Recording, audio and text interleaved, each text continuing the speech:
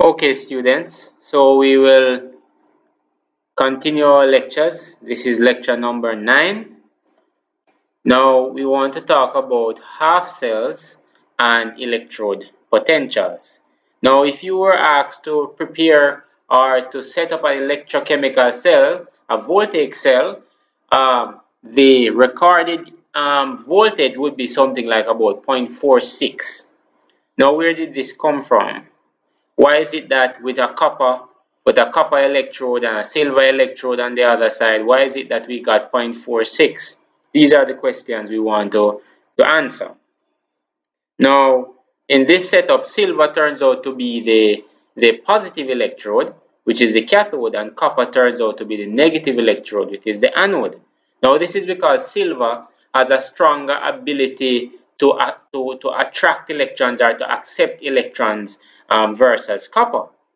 The overall, the overall cell reaction is where we have copper, copper getting converted or getting oxidized, that is changing from copper 0 to copper 2 plus and silver uh, plus uh, changing to silver 0, that is a reduction. Now we want to go deeper into this and to understand which reaction will or which which uh, in which electrochemical cell will have a reduction which will which will have oxidation in as uh, we kind of outlined in the previous lecture and also to calculate the cell potential. Now the first thing i must say is that the overall cell potential that is the potential that you will read on your voltmeter comes from a, a contribution from both of the half cells that is from both electrodes.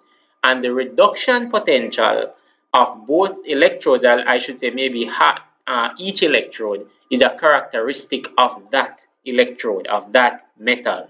For example, copper 2 plus copper 0 has a characteristic potential. Zinc 2 plus zinc 0 has a characteristic potential. And so it is true also for silver, silver 0. Now, in order to determine the characteristic potential of an electrode, Measurement against a standard electrode must be carried out um, under standard conditions. A matter of fact, if it's not standard conditions, then you can't really call it a standard electrode. The standard hydrogen electrodes is one of the most important um, standard electrodes. Of course, there are other standard electrodes such as the uh, standard silver-silver chloride electrode and also the standard calomel electrodes. There are other standard electrodes, but the standard hydrogen electrodes, um, commonly called the SHE, is one of importance for us. Now, the standard hydrogen electrode is not regularly used because to prepare or to set up the standard hydrogen electrode um, gives a lot of work. It takes, it takes some time to set up the standard hydrogen electrode. Now, the standard hydrogen electrode is composed of a piece of platinum metal immersed in a 1 molar acid solution over which hydrogen gas is bubbled at 1 atmospheres of pressure. The standard hydrogen electrode is designated a, a potential a standard potential of 0.00 volts. That is, the standard hydrogen electrode does not contribute to the overall cell potential when it is when it is made part of a cell. The reaction, the reduction reaction that occurs, or the reduction reaction of the standard hydrogen electrode is where H plus um, accepts, to, accept electrons to form hydrogen gas.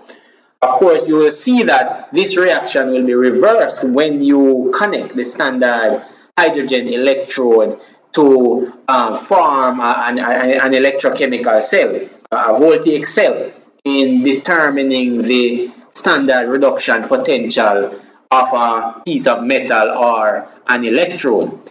Another thing I must point out is that in operating the standard electrode, the temperature must be 25 degrees Celsius in order walk up to you. Somebody just walk up to you and they give you a piece of metal and they say, look, this metal is, is copper go and go and determine the standard reduction potential. Now, the fact that I said reduction potential, and remember the potential values given to you are always given as reduction potentials, meaning that these are the values measured when you try to reduce um, uh, a particular metal ion. Reduction occurs at the cathode. Remember that. Oxidation at the anode. Now when trying to determine the reduction potential of a piece of metal, let's say a piece of copper, what you need to do is to prepare a one molar solution of, um, of the salt or of some salt of copper. A good convenient one to use is copper sulfate. So you prepare a one molar solution, you prepare a one molar solution of copper sulfate and you immerse in that solution the copper metal and connect via wires that piece of metal to the standard hydrogen electrode and also connect the two half cells as shown here in this diagram via a salt bridge. Now, the metal to be tested is made the cathode, whereas the, the, the standard hydrogen electrode is made to be the anode, where oxidation occurs. That is, the reaction at the anode will go from hydrogen gas to produce H plus ions, that is from hydrogen 0 to hydrogen plus. Now, given that, given that, the standard hydrogen electrode has a designated value of 0.0 volts, whatever value is read on the voltmeter will be due to the metal to be tested. Seeing that, the way in which we calculate the E cell is E cathode minus E anode as you will see on this slide. Now, so the, the cell is written with the assumption that the right-hand electrode is the cathode. And this is normally the convention that we use. Right-hand electrode is the cathode, left-hand electrode is the anode. Now, what we can write, we can also write a shorthand notation. Let's say we're looking at the Daniell cell, for example. For the Daniell cell, the anode is, uh, is zinc, right? It's solid zinc. And the anodic solution or the electrolyte at the anode could be zinc sulfate. At the cathode, the cathode is copper, solid copper metal, whereas the cathodic electrolyte is copper sulfate solution. And so what you could use is what we call standard cell notation. So as you can see here, you have zinc solid separated by um, what you would call it now a solid line. And then you have the zinc sulfate solution aqueous. And that half cell is separated by the other half cell by two uh, solid lines indicating the presence of the salt bridge and external connecting wires and also the absence of liquid junction potential. And then we have copper sulfate solution separated from the copper metal, which is the electrode, and that solid line there between copper sulfate solution and copper metal really indicates the interface between copper sulfate solution and the copper metal, the solid liquid interface. Now, what if you were asked to calculate the expected potential, um, the expected overall cell potential? Now, first thing you have to remember is that the potentials given to you for these um, species are given as reduction. That is, when silver, when we try, not silver, when we try to reduce copper 2 plus, right, that is by adding two electrons to convert copper 2 plus to copper 0, the potential that we get is plus 0.34 volts. Right, so that's a positive potential. When we try, however, to reduce zinc 2 plus by adding two electrons, we end up with a potential of minus 0.76 volts. These are the reduction potential values. Why? Why are they called reduction potentials? Because they are obtained when you try to reduce the metal ion to the solid metal. Now these potentials should be used as given. You don't need to flip the signs on them. I have seen cases in books where they tell you you can flip and you can do this and you can do that, but that is a lot to remember, and I'm saying we can avoid all of that. Use them as given, okay? And you don't need to multiply them. You don't need to multiply the potential values. Now, now that we, we are clear on where these values come from, we have to understand something else. The fact that the value for zinc is negative tells us that the reaction as written is non-spontaneous. It tells us that zinc 2 plus is not very receptive Right? it is not very happy to accept two electrons to form zinc solid. In other words, zinc solid would rather to lose two electrons to form zinc 2 plus. The fact that this value is negative tells us that it, this reaction would, would more likely occur at the anode.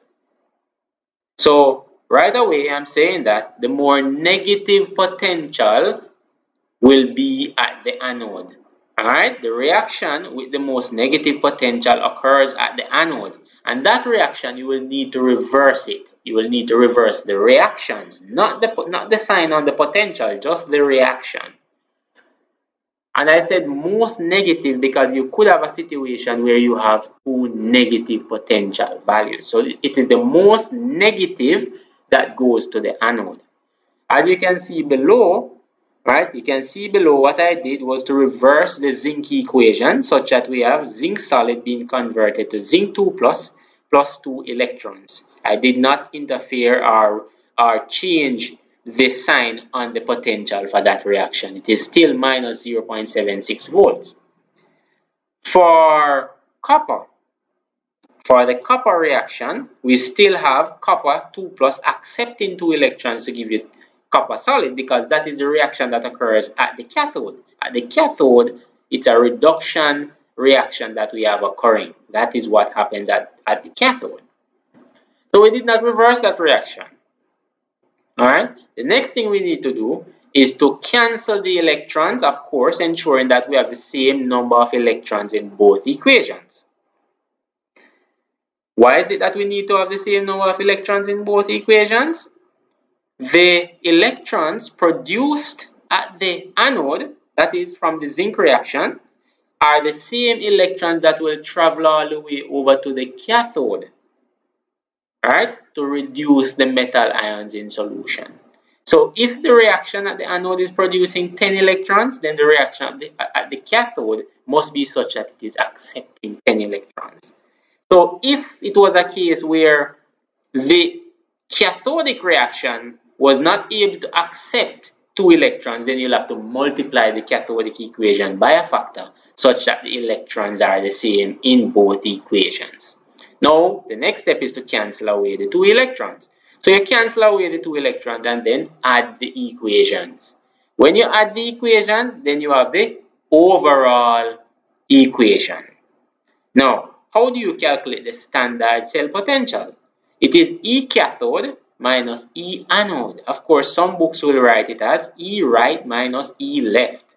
But we have to be careful because there are some textbooks which, which do not put the cathode as the right-hand electrode. So I like to say E cathode minus E anode. Earlier we decided that it is the copper reaction that will occur at the cathode and the zinc reaction that will occur at the anode. And so what we have now, for the E cell, the standard cell potential is 0.34 volts minus negative 0.76 volts to give us 1.10 volts. Now, that is interesting.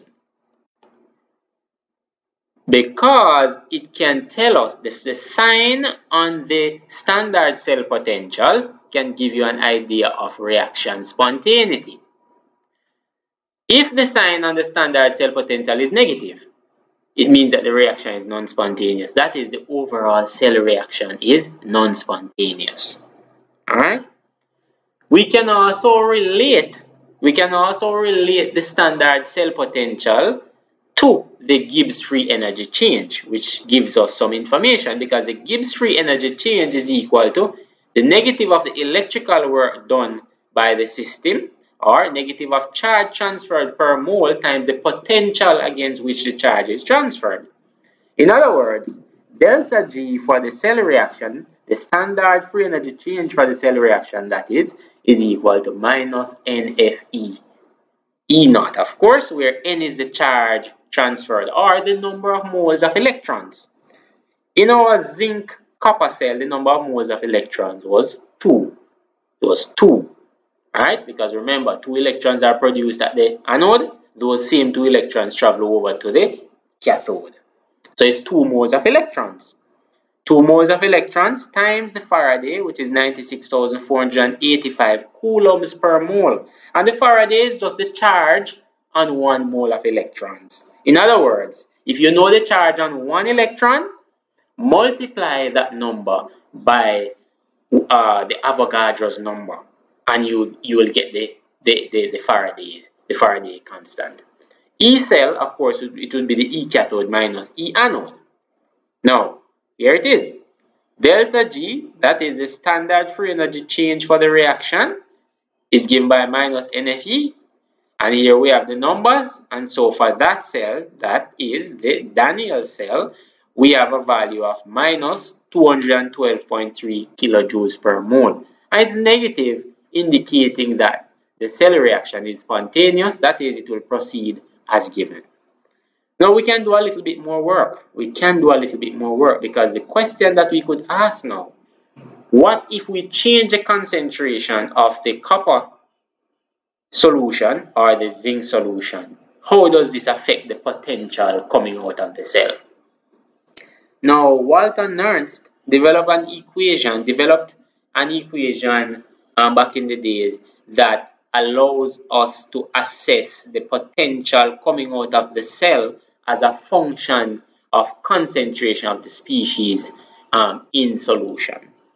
And what Walter Nernst is saying is that the cell potential is equal to the standard cell potential minus RT um, 2.303 over NF, where N is the number of moles of electrons, F is the Faraday's constant, of course R is the universal gas constant, and T is temperature, times log of Q. Q is the reaction quotient.